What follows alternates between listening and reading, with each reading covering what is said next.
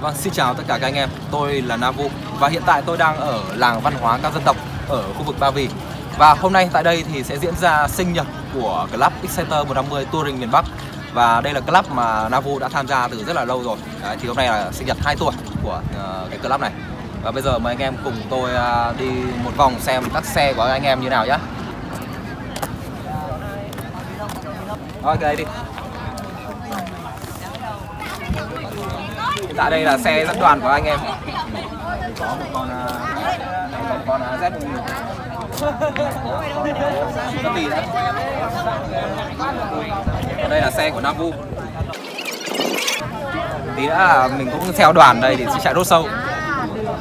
Xe của anh em thì đã được uh, treo cờ để tí uh, chạy rốt sâu. Anh em chào vlog cái nhỉ? Chào. Xin chào, đây là các anh em của Excenter Touring miền Bắc Anh em một tên TV, tôi vẫy tay nhá Vẫy vẫy vẫy tay em vẫy tay Thôi em nấp gì nhỉ?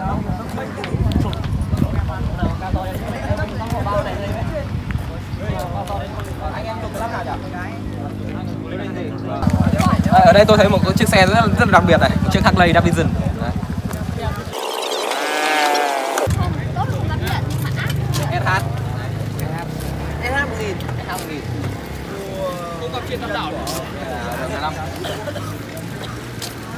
À, giám đốc Nghĩa kìa. Ôi rồi. Mày như người mẫu thế. À, như người mẫu.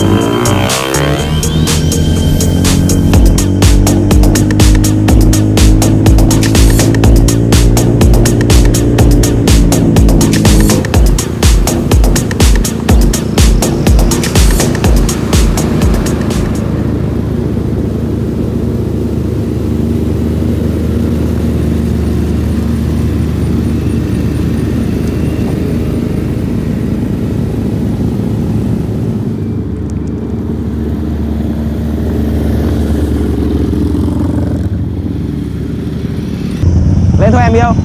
Em yêu lên xe thôi. Rồi em ơi, lên thôi, lên thôi.